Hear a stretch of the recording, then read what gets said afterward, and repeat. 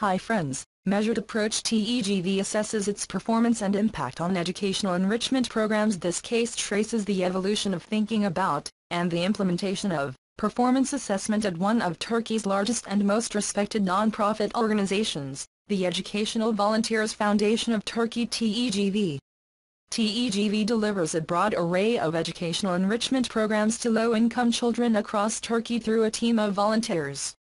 In contrast to many non-governmental organizations NGOs across the world, which have adopted performance measurement reluctantly, as a necessary but onerous condition of receiving grant funds, TEGV embraced the idea early, for its own organizational purposes.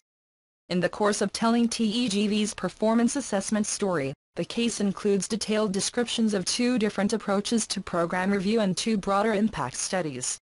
It includes 17 pages of exhibits most of which provide samples of study results for students to review and discuss. TEGV's approach to assessment has been varied, creative and has evolved over time. Students of performance evaluation will likely see both pluses and minuses in the nature of each assessment described in this case, ensuring a rich and lively discussion. HKS Case Number 2028.0 The CASESOLUTION.com is the number one destination for getting the case study and analyzed. Thanks for watching this video.